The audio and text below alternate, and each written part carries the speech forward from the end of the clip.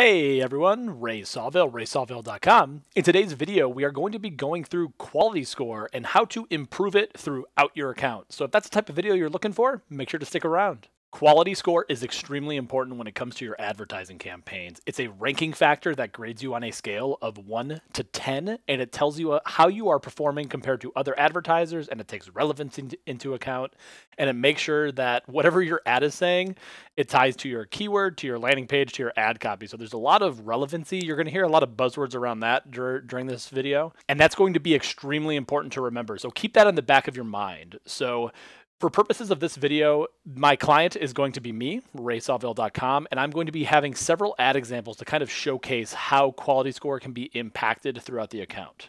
The first thing to understand is all of the actual components of quality score, and there are three major ones, but these six different ones that um, SiteChecker actually put together do a pretty good job encapsulating everything.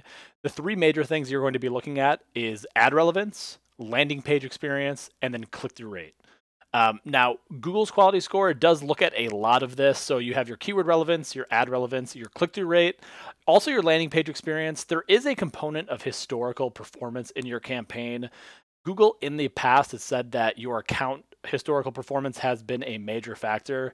I don't have a lot of insight when it comes to historical per- performance today, but just one thing to keep in mind that you don't see major swings in quality score over time. And then there are, are other relevancy factors. Now, interestingly enough, Bing put together a really good graphic that I found very helpful when it comes to quality score. So the three major factors here click through rate, ad relevance, and landing page experience. It's rated typically on a factor of is it average, above, or below average. Um, expected click through rate is just how relevant somebody finds your ad if they search for digital marketing expert Milwaukee. And if somebody clicks on my ad more often than not, my click through rate is going to increase. So the higher the click through rate, typically the better. This factor is based on an industry benchmark. Google doesn't share what that expected click through rate is for your niche. So typically the higher the better. Ad relevance is exactly what it sounds like. If I am targeting digital marketing expert, my ad better have digital marketing expert in it in the headline, in the description, in the pathing, if possible, the more you can include your target keyword inside of your ad naturally and not keyword stuffing is going to be better for you. And then finally, landing page experience. Again, the example with digital marketing expert, if I am targeting digital marketing expert, I better have digital marketing in my title tags. I better have it in my content as the header tags. I better have it on my website in several places. So when Google goes out and sees it, it understands that from a contextual standpoint, the keyword that I'm that I am hitting is relevant. Back in old school PPC land, like eight or nine years ago, it used to be big dog would win. If you had the most amount of budget, you can just chuck money at Google.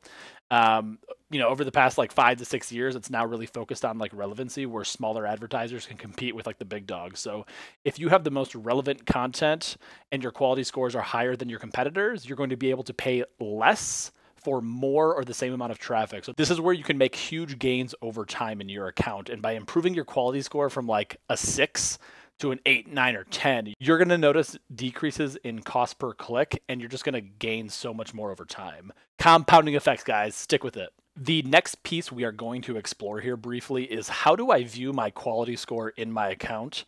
Um, all you have to do is go to your search campaigns within your account, throw on a custom column at the keyword level or the campaign level, search for quality score.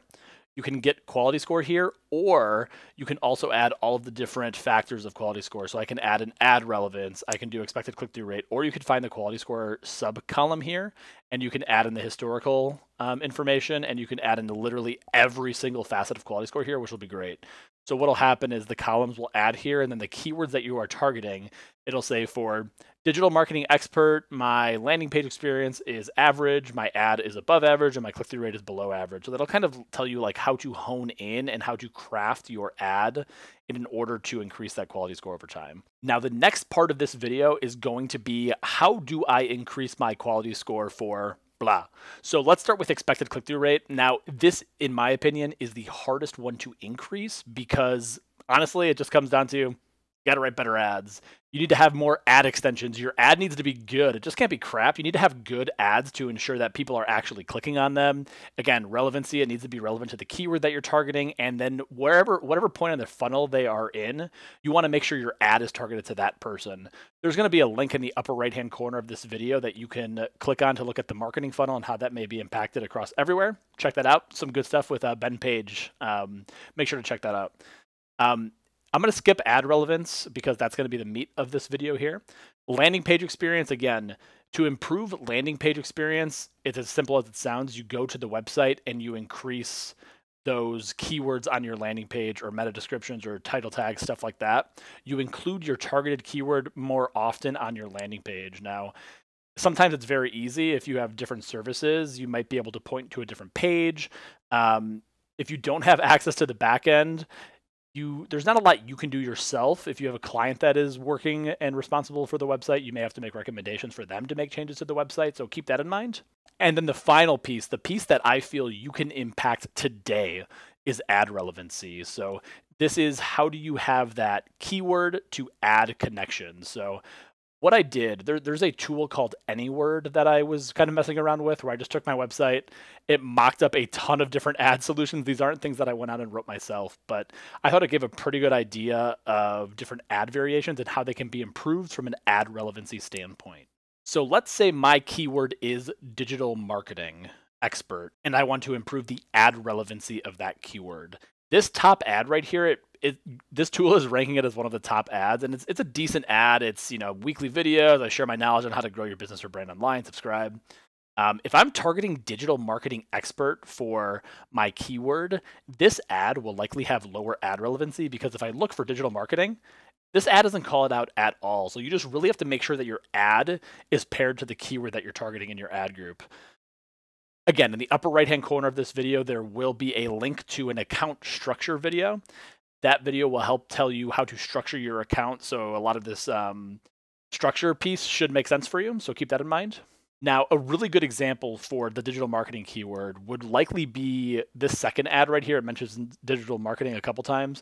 Same thing with this ad right here. You just want to make sure that you're peppering in your target keyword throughout your ad copy, throughout your headlines, and throughout your descriptions. So just extremely important when writing ads. So now, I don't have a lot of experience with this tool AnyWord here. If you do, let me know down below in the comments. I think that could be pretty cool. It seems like it's a pretty decent cool. It mocked up a, a decent chunk of ad copy that I can keep an eye on and potentially explore for some clients on the line. Let me know if you have experience with that down in the description, please. Um, but yeah, I mean, there you have it. That's how you can tackle ad copy and quality scores specifically for your accounts. Let me know if you have any questions, if I missed anything, if I can help provide any clarity. But the major reason for increasing quality score right away is you can have a major, major, major impact on the cost that you are paying today. If you improve your quality score from a six to even to a seven, you're going to be paying less for more. So typically, when I get an account or if I notice a major shift in quality score, that's one of the first things I like to tackle right away because you can make a major impact right away. Imagine working with a brand new client and you can say, client, um, you might not say like I increased your quality score from six to seven. Great, I'm awesome, awesome, great. You may say I increased my quality score from a six to a seven, and as a result, we paid less for the same amount of traffic and ultimately it should lead to more conversions. To higher quality score it doesn't always work out that way but it's just more relevancy and google rewarding you for writing better content. So i hope you guys enjoyed the video. If you did find this type of video helpful please consider subscribing. Um, one thing that i'm starting to as well is i have a discord server that i started. Link will be down below in the description come hang out. Um, I'm, I'm, making it for digital marketers. My goal is to make this uh, channel a really uh, thriving place for digital marketers out in the place to just kind of talk, ask questions, um, and collaborate and work together and share experiences. So if that sounds like something for you, check out the link below um, down in the description for the Discord. Thanks for watching. Appreciate you guys. Talk with you next time. Thanks. Bye.